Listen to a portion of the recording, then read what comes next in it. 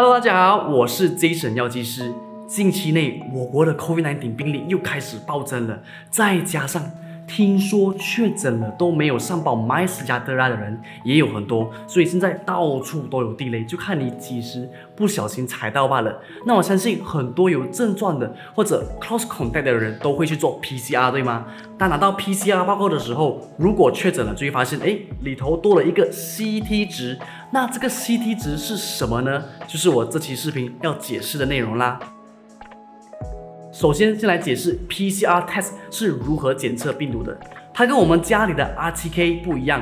RTK 是检测病毒表面的蛋白罢了，那 PCR 是直接检测病毒里头的基因组 RNA，所以 PCR 比较准确，是确诊 COVID-19 的 gold standard method。PCR test 首先需要从鼻子和口腔的样本里抽出病毒的 RNA，把它转换成 DNA。可是样本里的 DNA 太少了，机器测不到，所以就需要第二个步骤，也就是 PCR polymerase chain reaction，把这些 DNA 复制来加倍它们的数量，然后过程中呢就加一些荧光的材料，方便机器可以看到。所以第一个回合一个 DNA 变成两个，第二个回合两个变四个，然后一直重复下去，DNA 数量就一直乘二乘二乘二，直到。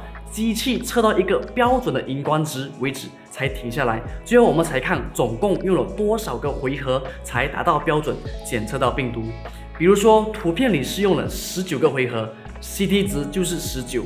所以说白一点，CT 值指的就是用了多少个回合来放大病毒，才能检测到病毒的存在。所以 CT 值越高，代表病毒需要放大很多倍才能被检测到。所以身体的病毒呢就比较低，传染力也比较弱。相反的，CT 值越低，就代表你体内病毒比较多，因为只需要放大几倍就测到病毒了，所以传染力比较高。说白了就是 CT 值越高，传染性越低；CT 值越低。传染性就越高，当然 CT 值只是跟传染性有关系，它跟严重程度无关。比如说你的 CT 值低，身体很多病毒容易传播，但你可能依然没有症状，不严重。目前国际上确诊的 CT 值没有一致的标准，大多数国家呢是三十五到四十以下算 positive，那我国马来西亚呢是以 CT 值四十以内都算 positive。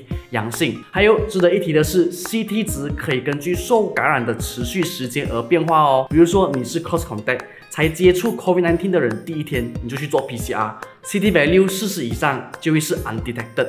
但是在二十四小时内，体内病毒会变多 CTV6 呢就会跟着变低。然后过了几天，你慢慢康复了，体内病毒变少，CTV6 也会跟着变高。所以从 CT 值来看，我们也能估计你受感染的时段。比如说 CT 值低。也许代表你才刚被感染，如果 CT 值高，也许代表你已经被感染了一段时间，或者你已经在康复中了。当然，这些我所说的仅供参考哦，没有绝对。还有很多人会问，为什么 PCR 报告里会有两个以上的 CT 值呢？是要看哪一个呢？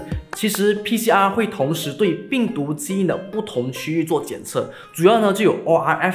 E、N 和 R、D、R、P gene，所以报告里就有不同基因的 CT 值。R、D、R、P 基因的 CT 值准确度是最高的，但是 in practice 我们会看报告里哪一个 CT 值比较低，我们就根据哪一个。还有一个问题，很多人问，那就是我确诊了，已经完成隔离了，那我还需不需要重复做 PCR test？答案是不需要，因为 PCR。分不清楚检测到的病毒是死的还是活的，所以如果你做 PCR，可能还会是 positive，因为身体里呢还会存留一些病毒的尸体和蛋白，所以基本上只要你完成隔离和至少三天没有任何症状了，就算是康复了，不需要重复 PCR。好，这期视频就到这里，希望能够帮到你。我是 Jason，你的药剂师，我们下期见。